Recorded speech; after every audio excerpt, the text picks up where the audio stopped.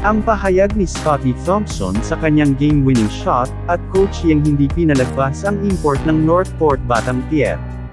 Pero bago ang lahat ay inaanyayahan ko kayo na paki-like and subscribe naman ang ating channel. Maraming salamat po. Matapos manalo sa isang dikit na laban kontra Northport Batang Pierre, Coach Yang Diao, may banat sa kanilang naging katunggaling import during post-game interview. Ayon pa nga sa kanya, uh, ang hirap mag-match up kay Ibe. No? Just so tall. Tingin ko nga rito, lampas ng 6'10 to eh. No? Hindi ko alam anong ginawa nila nung pinalusot sa sukatan yan. Baka ano, baka tinapyasan ng kalyo sa paa para makapal siguro kalyo ng player na to kaya ang laki ng nabawa sa kanya eh.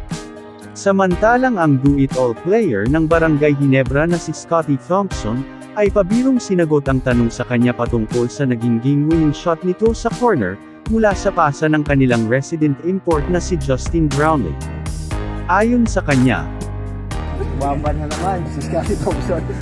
Makikita nga natin na nagsisimula na silang ipamalas ang kanilang team chemistry to the point na kahit si Coach Tim Cone ay malaki na ang tiwala sa kanila. Hinayaan lang sila nito gawin kung ano ang nararapat gawin sa laro. Ayon pa nga kay Justin Brownlee, matapos tanungin si Coach Tim Cone kung tatawag ba ito ng timeout after makuha ang bola sa jump ball, ngunit hinayaan nito ang kanyang mga players na gawin ang nararapat, at sinuklihan naman ito ng kanilang best import at MVP ng isang matamis na panalo.